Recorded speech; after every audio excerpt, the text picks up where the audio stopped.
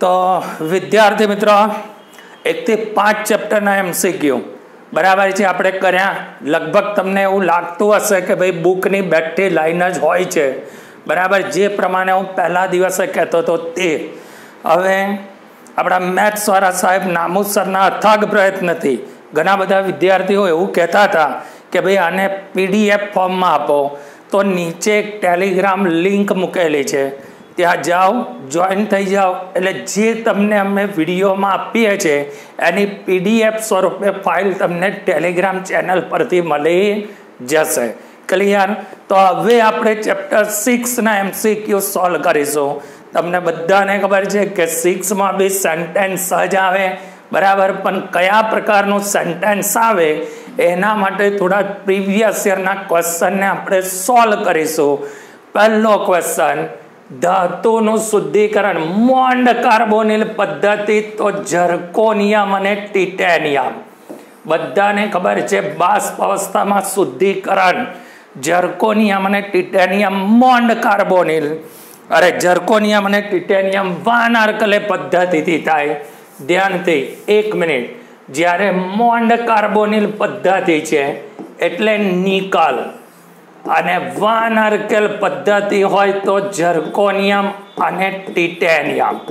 Clear તો Mond carbonyl. Nickel, પહેલા નિકલનું બાષ્પશીલ સંયોજન બનાવવાનું એનઆઈસીઓ ફોર પછી તમે એનું વિઘટન કરો તો એમાંથી છૂટવું પડશે એનઆઈ અને ફોર સીઓ ક્લિયર બેટા? ચાલો આગળનો ક્વેશ્ચન શું કહે છે? અતિ શુદ્ધ જર્મેનિયમ. યાદ કરો જોન રિફાઇનિંગ શુદ્ધિકરણ પદ્ધતિ. Silicon germanium boron indium gallium thallium માટે તમે કઈ પદ્ધતિનો ઉપયોગ લેશો? જોન રિફાઇનિંગ શુદ્ધિકરણ. પછી ત્રીજા નંબરમાં ફીણ ઉત્પાદન પદ્ધતિ. સ્થાયીકરણ પદાર્થ. તો બેટરી જ લીટી છે, એનિલિન અને ક્રેસોલ. જેનું કામ શું છે? લાંબા સમય સુધી ફીનને સ્થાયી કરે. બરાબર? સિમ્પલ થિયરી હતી. સલ્ફાઇડયુક્ત કાચી ધાતુમાંથી, રેતીમાંથી, કાકરાની અશુદ્ધિ દૂર કરવા માટે ફીણ ઉત્પલન પદ્ધતિ વપરાય. પેલા તૈલી પ્રવાહી હતા. ધાતુના કણો આકર્ષાય. ઉપરના ભાગમાં આવે, તળિયેના ભાગમાં, રેતીમાંથી કાકડા જમા થઈ જાય. પીબીએસ ઝેડએનએસને દૂર કરવા અવનમક તરીકે એનએસસીએન વપરાય અને સ્ફીનને સ્ટેબલ કરવા એનિલિન અને ક્રેસોલ. ક્લિયર ચલો, ત્યાર પછી ધાતુના શુદ્ધિકરણ માટેની પદ્ધતિ કઈ નથી. તો ફીણોત્પાદન નિક્ષાલન, પ્રક્ષાલન દ્રવ ગલન ધાતુના શુદ્ધિકરણ માટેની પદ્ધતિ નથી. જ્યારે તમે આ ચેપ્ટર વાંચો ત્યારે ધ્યાનથી જોવાનું કે પહેલાં કાચી ધાતુનું સંકેન્દ્રીકરણ હતું. ત્યાર પછી એનું શુદ્ધિકરણ હતું. ક્લિયર તો કઈ પદ્ધતિ શુદ્ધિકરણ માટે આવશે? દ્રવગલન, કારણ કે નિક્ષાલન, પ્રક્ષાલન અને બીજી જે આપી છે, ફીણ ઉત્પાદન, એ કાચી ધાતુના સંકેન્દ્રીકરણ માટે વપરાય. ક્લિયર બેટા ચાલો એના પછીની શું કહે છે? કોપરની કાચી ધાતુ. તો મેલેકાઇટ, જેનો સૂત્ર છે CO CO three into CO OH twice magnetite એટલે એફી થ્રીઓ ફોર આયરનની છે. પછી કેલેમાઇન એટલે ઝેડ એન સીઓ થ્રી ઝીંકની. અને સિડેરાઇટ એટલે એફીસીઓ થ્રી તો એ આયર્નની કાચી ધાતુ છે. સલ્ફર દૂર કરવા માટે ગરમ કરવાની ક્રિયા. તો એને આપણે નામ આપીશું ભૂંજન. બધાને ખબર છે કે કાર્બોનેટ હોય તો કેલ્સિનેશન અને સલ્ફરને હવાની હાજરીમાં ગરમ કરો. તો એને ભૂંજન કહેવાય. શું કહેવાય બેટા? ભૂંજન. પછી સંતુલન અચળાંકનું મૂલ્ય એકથી વધારે, તો ડેલ્ટા જી માઇનસ મારું ઋણ મળે, તો પ્રક્રિયા મારી પુરોગામી દિશામાં આગળ વધે, તો મને શું વધારે મળે? નિપજ વધારે મળે. ક્લિયર કારણ કે ડેલ્ટા જીની કિંમત નેગેટિવ આવે, તો પ્રક્રિયા પુરોગામી દિશામાં આગળ વધે. પછી તમે લખ્યું છે જર્કોનિયમ ધાતુની અશુદ્ધિ દૂર કરવા માટે તો હમણાં જ શીખવાડ્યો. ટિટેનિયમ અને જર્કોનિયમ. વાન અર્કલે પદ્ધતિ, પહેલા એનો બાષ્પશીલ સંયોજન બનાવ્યું તો ટીઆઈ આર ફોર અને ઝેડ આઈ ફોર. અને ગરમ કરો, તો આમાંથી શુદ્ધ ટિટેનિયમ મળે, આમાંથી શુદ્ધ જર્કોનિયમ મળે, અને અશુદ્ધિ સાથે નાઇટ્રોજન, ઓક્સિજન, આયોડિન સાથે બાષ્પ સ્વરૂપે દૂર થશે. કાચી ધાતુનું સંકેન્દ્રીકરણ કરવા માટેની પદ્ધતિ નથી. તો કેલ્સિનેશન એ તો ઓક્સાઇડમાં રૂપાંતરણ કરવાની ક્રિયા છે. બરાબર પક્ષાલન આવે, નિક્ષાલન આવે. બરાબર પછી આગળ તમારો શું આવશે? જલીય પ્રક્ષારણ ફીન ઉત્પલન પદ્ધતિ. જોન શુદ્ધિકરણ, સિલિકોન, જર્મેનિયમ. હમણાં જ બન્યા બેટા. ચલો, પછી નીચેના પૈકી કઈ પ્રક્રિયા નિક્ષાલન તો નિક્ષાલનમાં સૌથી પહેલી હતી બોક્સાઇટનું શુદ્ધિકરણ. અને બીજી હતી ગોલ્ડ અને સિલ્વર. ના શુદ્ધિકરણની સાયનાઇડ પદ્ધતિ. આ બંને તમારા સેના ઉદાહરણ હતા નિક્ષાલનના તો અહીંયા આપેલો છે સાયનાઇડ વાળો. ચલો, ત્યાર પછી શું કહે છે? મેટે. બેક્ટેજિલિટી સીઓ ટુ અને એફઈએસ નો મિશ્રણ. જેને બેસીમર ભઠ્ઠીમાં લેવાનો, સિલિકા ઉમેરવાની, હવા પસાર કરવાનું ઓક્સાઇડમાં રૂપાંતરણ થાય, બાષ્પશીલ સલ્ફર દૂર થાય બરાબર, ગરમ ગરમ કોપારો એસોટુના પરપોટા નીકળે, સપાટી પર ફોલ્લા પડ્યા એવું લાગે ફોલ્લાવાળું તાંબુ કહેવાય. યાદ આવ્યો ચલો, આગળ શું કહે છે? માનિકમાં ક્રોમિયમ ને સેફાયરમાં કેડમિયમ. બેટા, કારમાં ફરનારા ઓલવેઝ માનિક પહેરે અને સીડીઓ વેચનારા સેફાયર પહેરે. એ રીતે યાદ રાખવાનું. ક્લિયર ચાલો જર્કોનિયમના શુદ્ધિકરણમાં વાન અર્કલે આમાં તો લીટીઓ સિવાય કંઈ જ નથી. આમ બોલે એટલે ખબર પડવી જોઈએ કે આ જવાબમાં આવવો જોઈએ. હવે અને ગુજરાતીમાં વાંચવાનો છે. બોક્સાઇડના શુદ્ધિકરણમાં હતો. ચાલો હવે મને કહો, સોડિયમની અવસ્થા પ્લસ વન અને માઇનસ ફોર એટલે આનું આવશે થ્રી.